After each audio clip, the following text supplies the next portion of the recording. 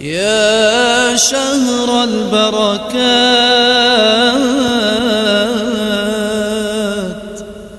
يا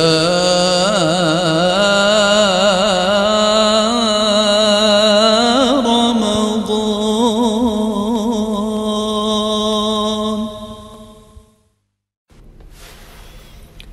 كافر مؤمن اور ایک گنہگار مسلمان کی اموات۔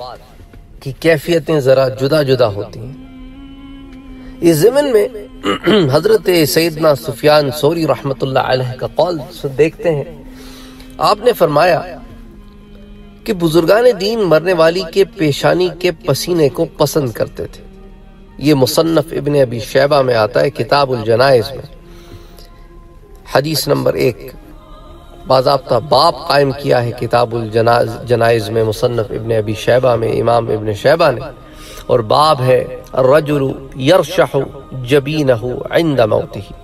کہ وہ آدمی جس کی پیشانی موت کے وقت جو ہے، اس پہ پسینہ آئے۔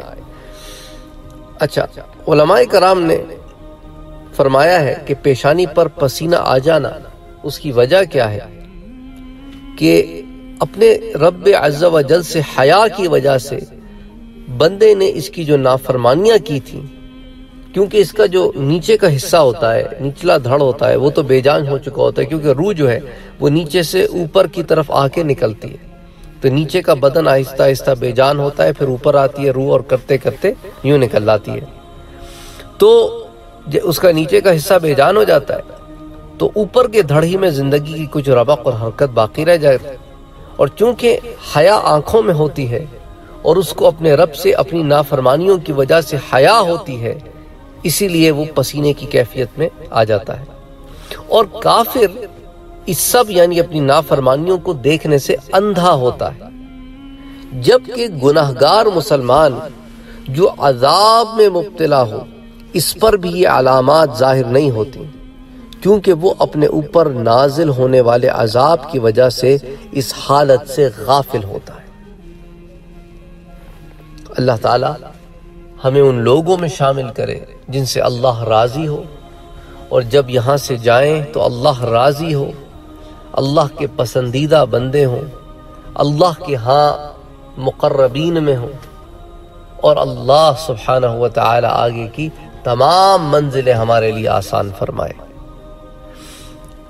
حضرت علماء کرام کا یہ جو قول میں نے آپ کے سامنے ذکر کیا ہے، اس کو التذکرۃ للقرطبی میں باب المؤمن یموت بعرق الجبین، اس کے صفحہ نمبر بائیس پر علماء کی یہ رائے لکھی گئی ہے، درج کی گئی ہے۔ امام قرطبی نے التذکرۃ للقرطبی میں اسے نقل کیا ہے۔ علاوہ ازیں حضرت علقمہ جب اپنے کسی رشتہ دار کے پاس گئے تو دیکھا کہ پیشانی سے پسینہ نکل رہا ہے۔ اس سے ملتی جلتی ایک روایت، پچھلے درس میں بھی آپ کے سامنے پیش کر چکا ہوں اور آپ مسکرا دی کسی نے پوچھا کہ کیوں مسکرا رہے ہیں؟ فرمانے لگے، میں نے حضرت عبداللہ ابن مسعود رضی اللہ تعالی عنہ کو فرماتے سنا کہ مومن کی روح پسینے کی صورت میں بہ کر نکلتی ہے۔ اور کافر یا فاجر، یہ دونوں لوگ اس کیفیت میں شامل ہیں۔ کافر وہ جو کفر کرتا ہو اور فاجر جو سخت گناہگار ہو، چاہے مسلمان ہو پر گناہگار ہو، ان دونوں کی روح اس کے جبڑوں سے گدھے کے مرنے کی طرح نکلتی ہے۔ مومن نے کوئی گناہ کیا ہو تو موت کے وقت اس پر سختی کی جاتی ہے، تاکہ وہ گناہ کا کفارہ ہو جائے۔ اور کافر یا فاجر نے کوئی نیکی کی ہو تو موت کے وقت اس پر آسانی کی جاتی ہے تاکہ اس کا بدلہ یہی مل جائے۔ اللہ اکبر اللہ اکبر۔ اللہ تعالی محفوظ رکھے ہر برے وقت سے۔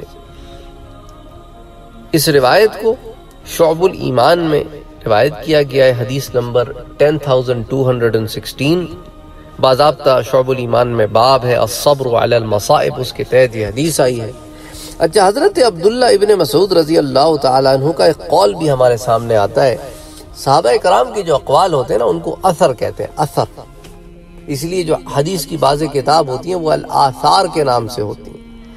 تو قول ہے، حضرت سیدنا عبداللہ ابن مسعود رضی اللہ تعالیٰ عنہ کا، انہوں نے فرمایا کہ مجھے گدھے کی موت مرنا پسند نہیں۔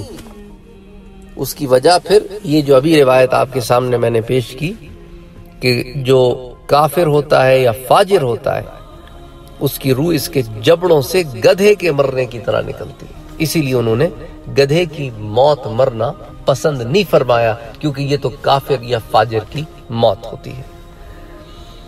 اللہ تعالی موت کی سختیوں اور تکلیفوں سے محفوظ بھی رکھے اور ہمیں ان لوگوں میں شامل کرے جن سے اللہ تعالی راضی ہے۔ انشاءاللہ تعالی پھر اگلے درس میں موت کی گرمی اور تکلیف کے بارے میں دیکھیں گے۔ یہ ایسے ٹاپکس ہیں اس کو میں چاہ رہا ہوں کہ ڈیوائیڈ کر کے چھوٹے چھوٹے دروس میں آپ کے سامنے پیش کروں۔ اسی طرح موت کی سختی ایک چیز ہوتی ہے۔ تو بہرحال انشاءاللہ تعالی کوشش کروں گا، اپنی طالب علمانہ کوشش کروں گا کہ زمن میں جو چند ایک باتیں جمع کر سکتا ہوں، وہ آپ کے سامنے پیش کرنے کی کوشش کروں گا۔ آپ کے لیے میں دعا کرتا ہوں، آپ مجھے اپنی دعاؤں میں نہ بھولیے اللہ تعالی ہم سب پر کرم فرمائے وما علینا الا البلاغ Mm-hmm.